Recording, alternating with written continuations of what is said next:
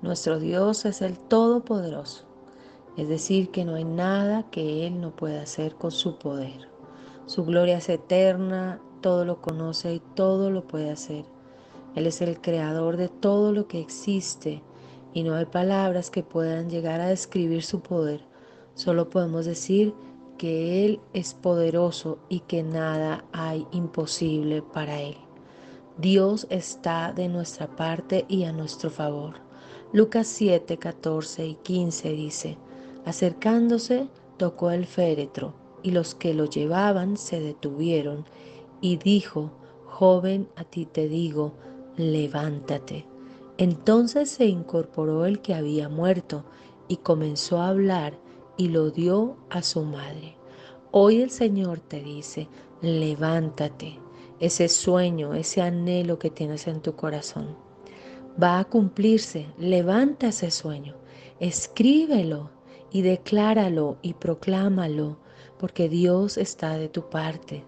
El Señor puede hacer grandes cosas. Este joven estaba muerto dentro del cajón y el Señor lo resucitó y comenzó a hablar y lo entregó a su madre.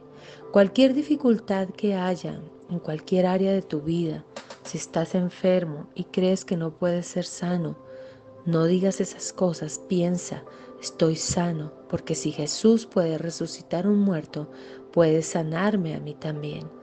Que el Espíritu de Dios imparta en tu vida tanto el querer como el hacer. Y te lo digo por el pastor Alberto que fue resucitado de entre los muertos porque estaba muerto, pero el milagro de Dios lo trajo a la vida. Él puede hacer grandes cosas. Solamente deséalo, espéralo y confía. Y oramos esta mañana creyendo y declaramos a toda obra del inframundo que quiere matar, robar tus sueños, que huyan de tu presencia, que huyan y se alejen todo impedimento y todo obstáculo, todo poder de muerte que ha venido sobre ti, sobre tu negocio, sobre tu casa, sobre tu empresa, sobre tus hijos, ahora mismo retrocede y declaramos vida por la sangre del Cordero y le ordeno a todos tus sueños que se levanten y que sigas soñando y creyendo y declarando que para Dios no hay nada imposible. Por eso tú, donde quiera que estés, aun si estás muerto en algún pecado, si estás muerto en drogas, en alguna cosa, ahora mismo ordeno a todas fuerzas de las tinieblas que te suelten y vuelvas a la vida por el poder del Espíritu Santo de Dios. Amén. Te bendigo este día. Un feliz martes.